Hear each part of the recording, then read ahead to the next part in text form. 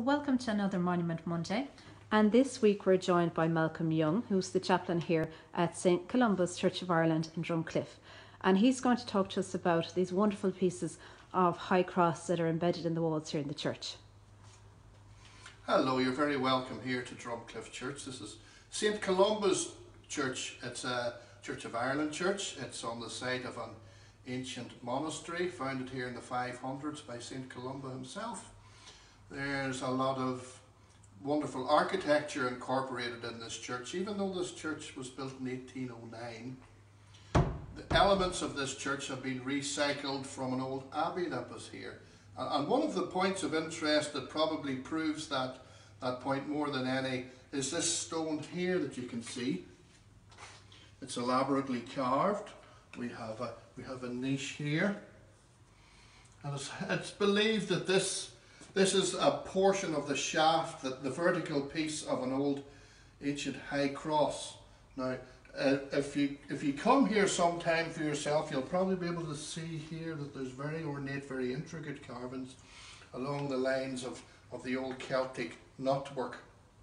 And as you may or may not know, the Celtic knotwork was borrowed, let's say, by the by the, the Celtic Christian Church from the days of the Druids, and it was incorporated as a sign of the eternal nature of God because Celtic knots have no beginning or no end. So that describes in a, in a, in a very a very understandable way the eternal nature of God. Now, if you see here, some people have said this niche, there's different theories about what that may be. Some people say it may be something that was maybe added later as the stone was adapted for other use.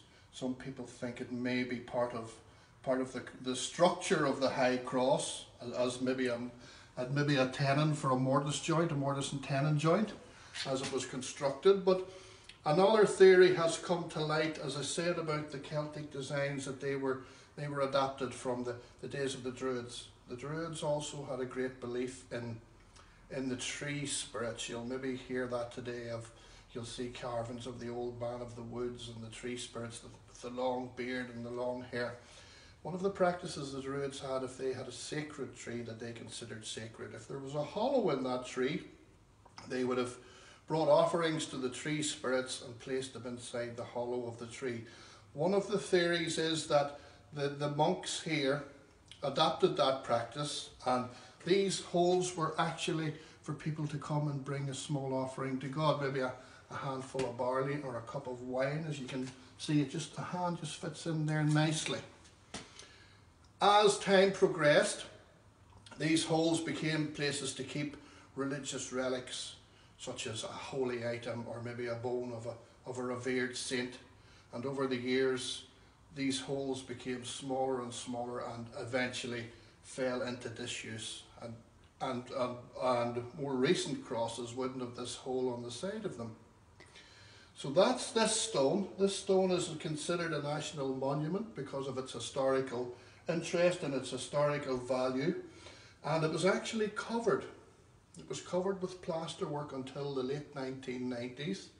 Whenever this, this wall, they were going to renovate the wall, they, they, they chipped off the old lime plaster that was in disrepair and they discovered this these, this beautiful stonework, a lot of it has been weathered. It's obviously mm. recycled from other places, from other buildings on the site, which was quite probably the abbey. The abbey would have been constructed of stone. There's some sandstone there. That's the that's the the carboniferous limestone that's natural to this part of Sligo. Yeah. But as you can see, the cross is also made of this sandstone, which they believe may have been imported for this specific use. Brilliant. And there's another. Yes, would, would, there's another. There's another segment. Well. If yeah. you'd like to come and see Absolutely. this, please come along here into our porch. If you'd like to come here, and I'll close the door. And as you can see, here's another fragment Oh, wonderful. of carved stone. Yeah, it's just hidden behind the door. Now we believe that may that's quite possibly from the same cross but a different section of the cross. As you yeah. can see it's slightly narrower.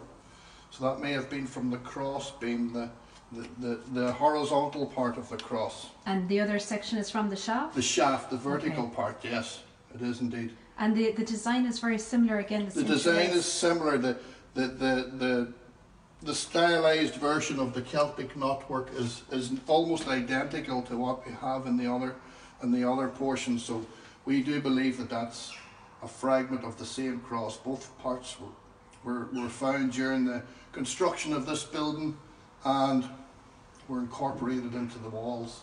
In those days, I don't think they realised the value of what they'd found, so it was just incorporated into the walls as part of the structure of the church. Brilliant. And there's a very fine high cross here in the graveyard. And um, that is said to date to the 11th century. Yes. And the carving, the interlace detail Mhm. on that is as fine as this. And uh, Mhm. very lucky to have possibly a second one here in the walls. Um, yes. There's other features too, Malcolm, in the porch here. There are other features, yes. Here's uh, one of two headstones, gravestones that we have.